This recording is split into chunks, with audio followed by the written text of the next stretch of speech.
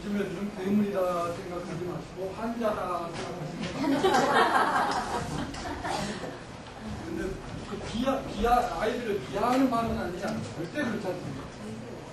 그 정신보건센터하고 서울시교, 서울시교청에서 그 검사를 했어요. 서울시 3분의 1 정도 가량에서 검사를 했잖아요.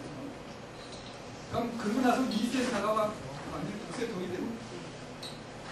ADHD 게임 중이고 막 바글바글 하니까 정신보건센터는 선생님도 전화해서 상담하면 한참 기다려야 돼요.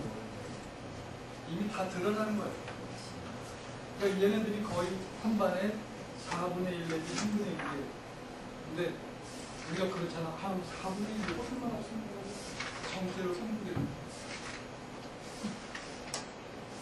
이 아이들과 우리가 떠가야 되는 강요가